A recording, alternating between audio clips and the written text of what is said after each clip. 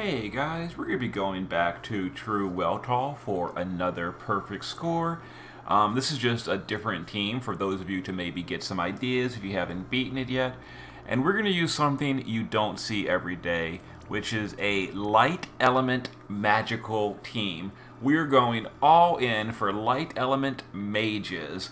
This is the party we're going to use. Let's give it a go and see how it works, and then I will show the team, show the gear, explain it, etc. So we're going to be going for a turn 4 clear because my pause is EX2. That's a uh, turn 4 for the SLB. So for the boss's accuracy stuff, we're going to use Louise. We're going to incapacitate target to do an accuracy down. We're going to use Draconian Fina to do her Magnus to fill her LB gauge. We're going to use Pause to imperil light on the boss. Uh, Aerith, Yuna, and Chao can just hang out for the moment as we just wait. Uh, now, because we did accuracy down, we don't got to worry about the boss's attacks. Um, we're evade, evade provoking with the base form of Louise. Yuna can do the shifted L. I'm sorry, the base form LB on this turn. Um, Aerith can go ahead and do Wish to Save the Planet. That's a Rod in Peril. Uh, Chao can do Prosperous Light for a bigger Amplify. Uh, Draconian, Louise, and Pause can all just guard here as we just wait to get ready for the SLB. Okay, so we're going to kill on next turns. We're going to continue to just get ready, basically. Um, so Aerith is going to do her base form LB for the Amplify. We're going to go ahead and shift uh, Fina, or Yuna. Um, we'll use Draconian Fina to summon Bahamut for the Light Element field. You know, we're going all in for Light Element. Uh, Yuna is going to knowledge of the staff, believe, and hymn of the faith. That's to get ready for next turn. Uh, we're going to guard all the rest. Yeah, we're just waiting for the SLB at this point. And okay, we're going to kill on turn four. All the damage is not a problem with the accuracy down, so there we go. So pause, SLB, Draconian Fina, shifted LB, uh, Yuna, shifted LB, Louise to help build that chain score with, um, we're going to shift and do quad Chaos Wave Awaken. So, whoops. So we're going to Chaos Wave Awaken uh, four times. Chao is going to do the same thing. We're going to Chaos Wave Awaken four times. Now, I know Chao's LB is more damage, but we need that chain count score, so whatever. And we're going to Holy with Aerith. So we're going to start Holy. We're going to wait for it to come down because it takes forever. Then we'll go ahead and chain our um, our team together, and this should be a 100 count chain score. It should be a 10 point, uh, I think it's 10.7 or better, and we're looking for big boy damage here. How did our Holy Mage team work? Something you don't see constantly. 15 billions, we overkilled by 50% more than we needed. Not bad, not bad at all. Let's see the breakdown here.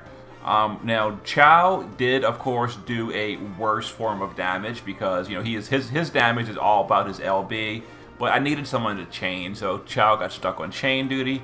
How do we do here?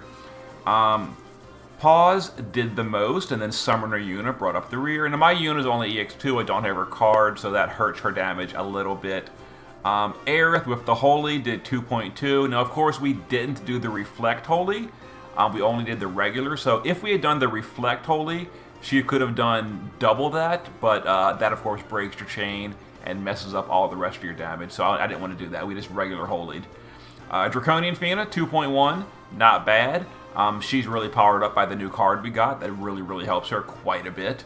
Um, and then Divine Beast Chao, 1.8. If we had done his LB, would have been more. And then, of course, Louise's garbage is damage, or Louise's damage is garbage, but uh, we're not in Clash of Wills, so you got to kind of judge her by Clash of Wills. Anyway, there was the clear. Let's go ahead and show the team we used just for the sake of it.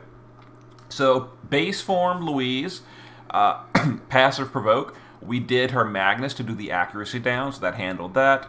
Um, the rest of the party is Aerith using a rod um, with the holy build, so MP and Spirit. Her Spirit's really low because we needed to give her all kind of killers, but you know, whatever.